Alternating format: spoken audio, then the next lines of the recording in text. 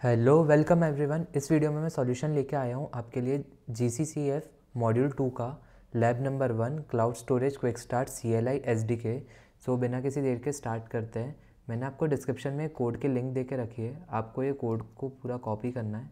Then आपको यहाँ पे इधर आके लॉगिन करके कमांड शेल एक्टिवेट करना है और यहाँ पे आपको अपना कोड पेस्ट करना है। And hit enter authorize commands run होने के बाद इस टाइप से कुछ दिखेगा। आपको यहाँ पे आना है। देन आपको यहाँ पे चेक माई प्रोग्रेस करना है।